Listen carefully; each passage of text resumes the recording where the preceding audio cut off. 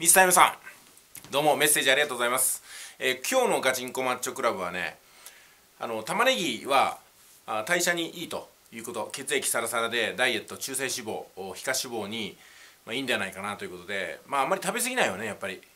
玉ねぎだけ食べても美味しくないんでやっぱり味付けしちゃうと思いますからまああんまり食べ過ぎないように玉ねぎダイエット使っていこうかと思います。やっぱり1日5食ともなると、うん、少量ですしね。ちょっと空腹が最大の敵なんですよね、うん、で汗をだらだらかけばいいってもんでもないんでやっぱりきっちりとね運動しながら。でなんですかね。空腹に耐えかねて食べちゃうっていうのがもう最悪なんで適度に腹を満たしていかないといけないかなと思うんですよね。しかも飽きないように。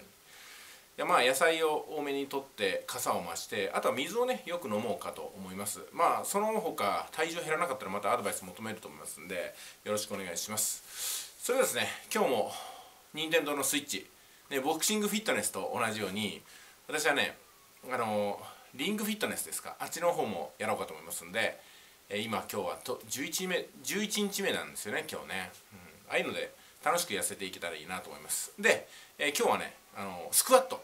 やっぱ下半身の筋肉をしっかりと作るために、えダンベルスクワットをやってみようかなと思うんですよ。こんな感じです。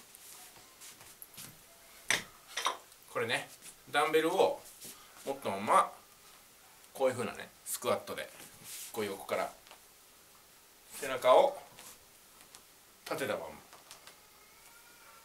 でなるべくゆっくりゆっくり上げると。で下げる時はちょっと早めに上げる時にゆっくり逆かなこれ。逆ですかね。下げる時にゆっくりですかね。両方ゆっくり。ねスクワット。こういうふうなダンベルスクワットは下げる時にゆっくりあ両方ゆっくりがいいんですかね。うわもう汗もうすごい出てきた。さすが。燃焼効果最高ですね。玉ねぎ。まあスクワットのペースについてちょっと教えてください。それでは。